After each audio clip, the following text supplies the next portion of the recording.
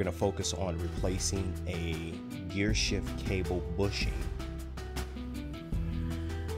You'll notice that when you put the vehicle into gear, there is no resistance and you'll also notice that the vehicle's transmission is not shifting. Be sure to engage the parking brake. Safety is key. You'll be under the bottom of the vehicle. The last thing you need is this vehicle moving. When getting the bushing from the auto store, I was ensured that this particular part would fit, but it did not fit.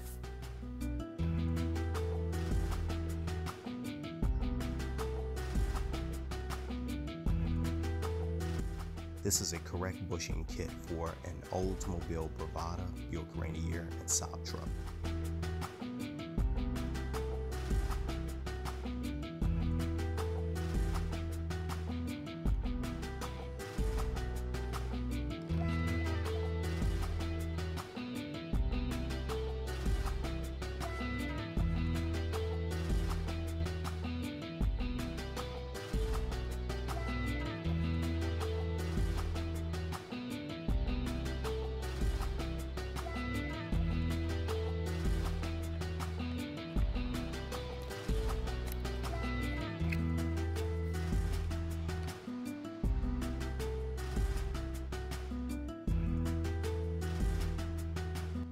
Be sure to secure your wills.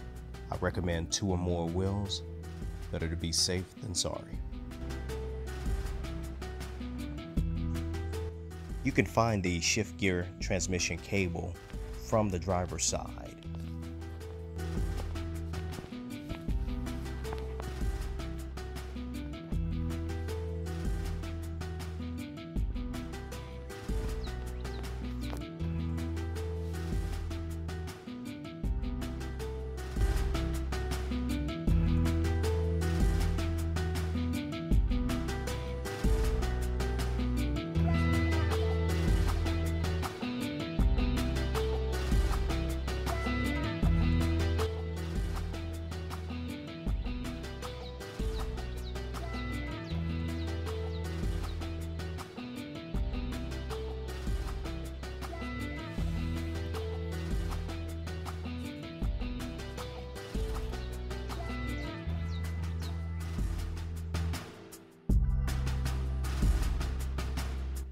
Make sure you pull the old bushing out the old shift gear cable by using a flathead screwdriver.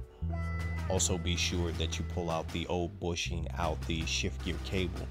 It may have broken off and left a small piece of plastic. These are step-by-step -step instructions that came with the bushing on how you can actually get the bushing inside of the shift gear cable. What I did was actually use a spark plug gapper and a C-clamp and pressed it in. If you have any success, try to push it in by hand before you use any types of tools. Be sure not to damage anything.